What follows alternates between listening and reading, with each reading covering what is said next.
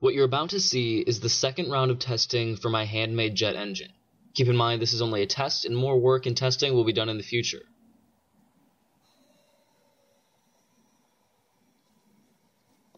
In these tests, an additional cover was placed over the intake to help improve compression. In addition, neodymium magnet pairs were used to help balance the exhaust turbine.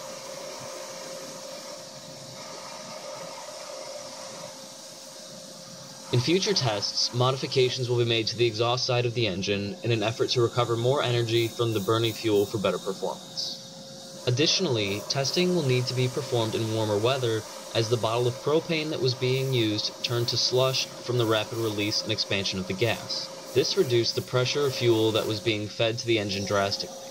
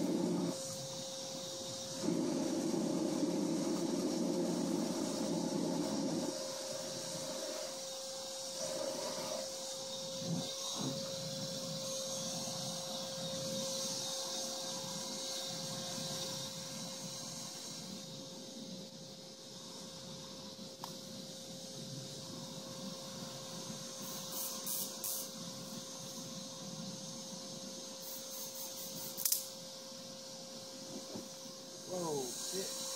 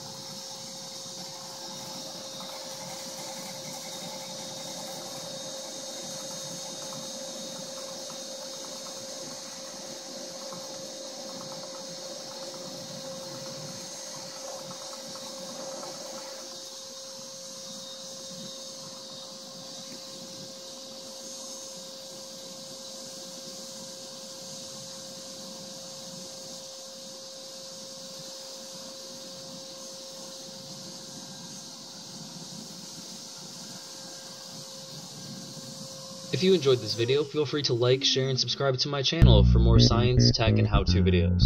Thank you so much for watching, keep building, and I will see you next time.